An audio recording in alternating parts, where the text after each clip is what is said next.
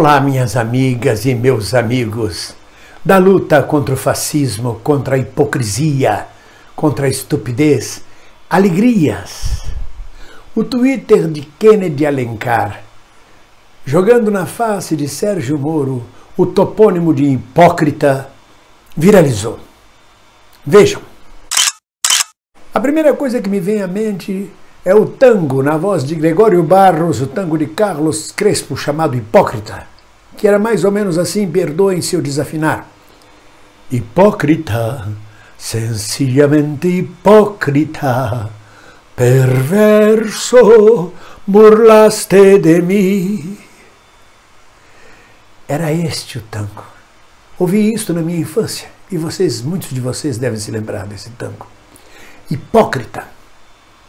Por que, que eu digo que Kennedy Alencar deu a Sérgio Moro o topônimo de hipócrita e não o nome? Porque Sérgio Moro não é exatamente uma pessoa. Ele acabou se transformando num acidente geográfico, por isso o topônimo, hipócrita. Um acidente geográfico que começou em Curitiba, estendeu-se até Brasília e tomou conta do país. Um tsunami hipócrita.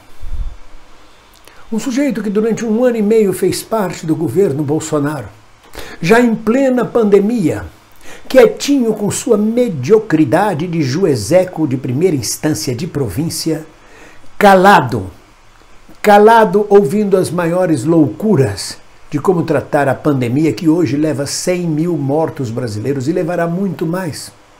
Calado, ouvindo os ministros e várias pessoas dizendo que tem que prender os ministros do Supremo Tribunal Federal, que tem que fechar o Congresso, que tem que fechar o Supremo, calado, com um risinho cínico, hipócrita, quando muito, nos lábios. E agora vem a público lamentar as 100 mil mortes. Vem a público acusar o governo de Bolsonaro, do qual até pouco tempo atrás ele fazia parte, da forma mais hipócrita do mundo. E ele fazia parte e coadunava com tudo o que estava acontecendo.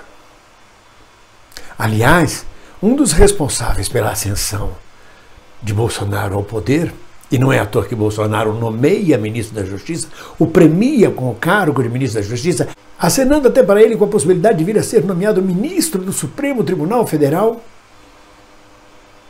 E este cidadão agora vem cuspir no prato que comeu. É gato escondido com o rabo de fora. Não é à toa que dizem que, sinceramente, Moro é muito mais perigoso que Bolsonaro. Porque se Bolsonaro é estúpido ao quadrado, Moro é ao cubo. Moro é muito mais perigoso, muito mais hábil. Não é à toa que Moro foi várias vezes aos Estados Unidos para entender como levar o projeto da Lava Jato à frente. Perto de Moro, Bolsonaro é um quadrúpede, um moar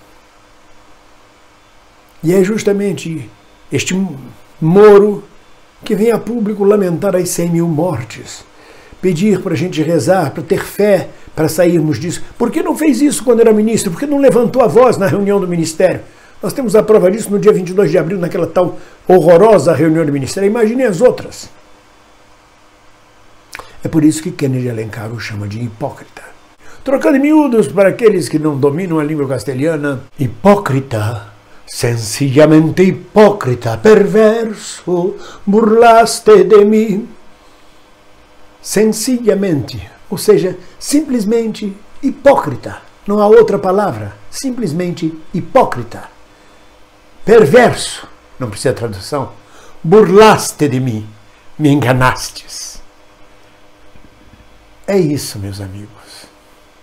Por mais que a gente esteja vigilante, o mal, o maligno, sempre encontra uma brecha para ocupar a nossa cabeça, o nosso dia a dia e para destruir o Brasil.